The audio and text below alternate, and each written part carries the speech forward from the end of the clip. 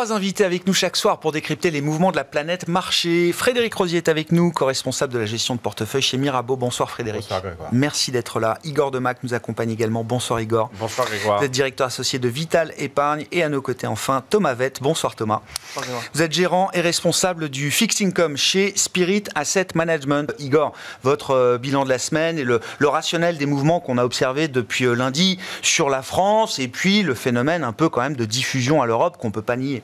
Oui, alors la décision politique un peu surprise, euh, disons surprenante de dissolution, ça crée euh, logiquement les macro-trades qu'on connaît, en fait, qu'on a euh, détaillés dans le passé, avec effectivement une spécificité, mais qu'on oublie, c'est que la trajectoire des comptes publics était très mauvaise hein, sous la précédente mandature, enfin actuelle, mais même on est quasiment au pire. Alors je, je mets le Covid de côté, mais on est maintenant à un déficit structurel de 5%.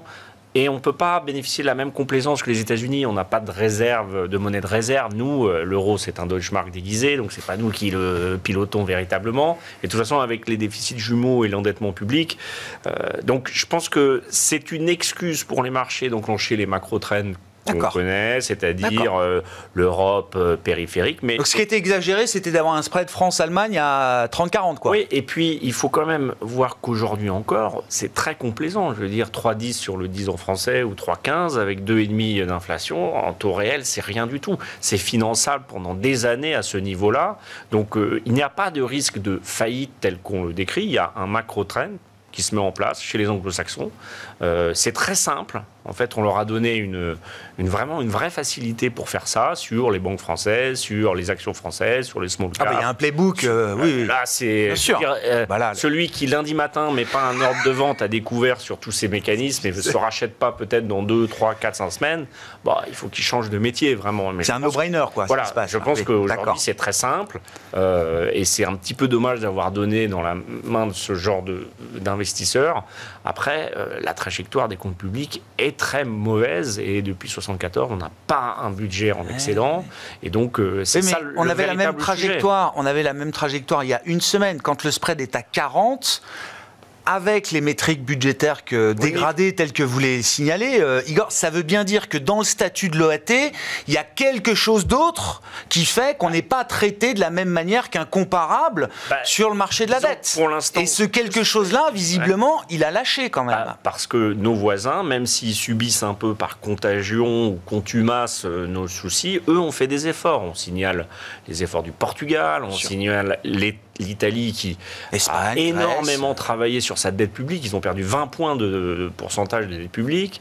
Donc nous, on n'a pas du tout fait cet effort parce que euh, intellectuellement, le politique français, quel que soit le bord jusqu'à présent, c'est toujours cru, euh, assez puissant ou assez lié à l'Allemagne pour se dire non, non, mais nous, on nous financera toujours parce qu'on est la deuxième puissance économique, entre guillemets, de la zone euro.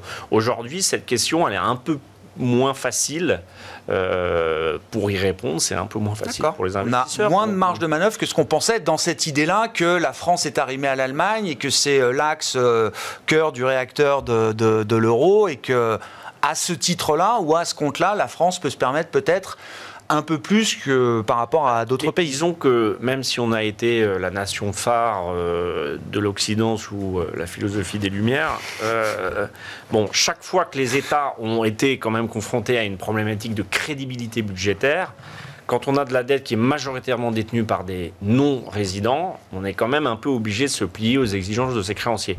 Listrus, euh, Salvini, en Grèce, c'est quand même quelqu'un d'extrême gauche qui a appliqué le programme du FMI de rigueur. Donc, vous voyez que, en fait, c'est pas une question de couleur politique forcément, c'est une question de pratique. Et du fait de sa profondeur, de sa liquidi- liquidité, la France est un, un pays, et peut-être même le pays en Europe, dont la dette est le plus détenue par les Alors, étrangers. c'est mieux qu'avant. On alors, est passé de d'accord. 70 à 50, donc D'accord. c'est mieux. Mais on reste un si des les pays les plus 50% détenus. résidents font rien, Oui, oui, oui. euh, parce que c'est des institutionnels et les classes 50 sont des traders fous à Wall Street et à Londres, euh, le résultat est, est le même qu'avoir 100% ailleurs. hein. Euh, Igor, oui, alors je sais pas vos commentaires sur la BCE, si on veut aller un peu dans le scénario fiction pour l'instant, mais bon, euh, il faut quand même avoir euh, l'idée d'un filet de sécurité euh, de, de, de, de, ce point de vue-là. Et puis, est-ce qu'il y a quelque chose d'un changement structurel quand même de la perception du marché, des investisseurs globaux vis-à-vis de, vis-à-vis de l'OAT Je reviens à ce sujet. Est-ce que 30-40, c'était pas un peu exagéré? Et est-ce que demain, structurellement, quoi qu'il arrive le 30 juin et le 7 juillet et au-delà, la prime de risque sera un peu plus élevée désormais pour la France Moi, j'adore ça, mais plutôt au cinéma. Euh, je pense que, en plus, j'aime pas trop interpréter euh, les banquiers centraux. C'est l'agent économique financier le plus puissant. Donc, effectivement, il faut pas trop se mettre en face. Certes. Ce que je pense sur la situation, c'est que d'abord, euh, la création de l'incertitude, évidemment, c'est ça que les marchés valorisent. Après, ils sont allés très vite dans la crédibilité budgétaire et donc dans le résultat des législatives parce que on parlait de deux bornes, en fait, il y en a trois dans les mmh. sondages. Hein. Ils ne sont pas non plus très éloignés. Donc euh, là, moi, j'ai l'habitude de dire, on ne gère pas avec sa carte d'électeur. On, voit effectivement qu'il y a des opportunités. On parlait d'LVMH ou, ou, de BNP. Je pense qu'il vaut mieux être même maintenant actionnaire de BNP avec le rendement du dividende plutôt que créancier. Parce qu'à ces niveaux-là, euh, évidemment... On a reconstitué un peu de primes euh, sur ces actifs-là. On met une taxe de 5% sur le profit des banques sur les 5 prochaines années, qu'on leur empêche de, de verser des dividendes mais bon, euh, encore une fois, tout ça, c'est un peu tôt pour euh, imaginer. Donc, c'est des macro-trends faciles et tout se recorrèle à la baisse quand ça va mal dans une zone monétaire. L'euro a baissé, euh, les spreads ont augmenté, pas tellement, mais ils ont quand même augmenté. L'OAT, les actions. Donc là, on est dans un mouvement un peu de. Bah, pas panique, mais moutonnier, oui, tout ça va mal. Bon, la situation. Et c'est des mouvements dont on peut imaginer qu'ils puissent se renverser? Oui, d'ailleurs, oui. Il y, a une. Enfin, je, pense qu'il y a un scénario qui, euh, d'ailleurs, je pense dans les sondages se voit, c'est que gouverner va être assez ardu puisqu'il y aura des blocs et donc la tendance d'une non-majorité va être en plus accentuée. D'accord. Ce sera encore moins gouvernable que l'Assemblée précédente. La, la, dissolution, on l'a déjà fait cinq fois en France, dans des conditions différentes et avec des majorités derrière absolues euh, qui était contre, euh, entre guillemets, le parti du, président. Mais là, c'est tout à fait nouveau. Donc ça, on ne peut pas empêcher les marchés de mettre une prime à cette nouveauté.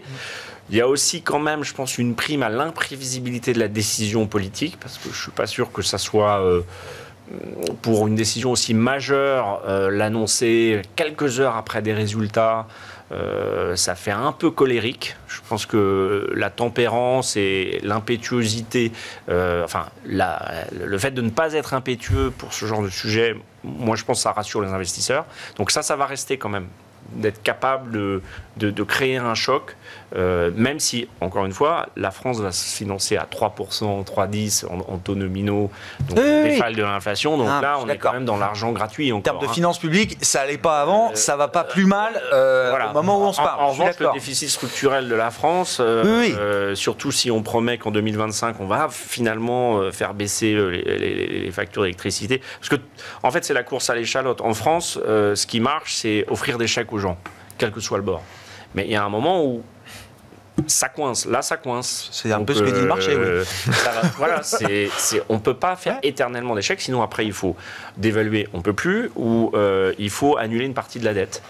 Qu'est-ce que non mais concrètement, moi je veux bien. Enfin, euh, quelles ont été les questions des clients là cette semaine et qu'est-ce que vous leur avez répondu concrètement Igor, vous dites on, ne gère pas avec sa carte d'électeur. Bah, concrètement, qu'est-ce que concrètement, un client paniqué qui appelle fait référence à la commune de 1848, à Saint-Pétersbourg en 17 ou à Berlin en 36. Non mais la physiologie d'un client très inquiet, c'est ça.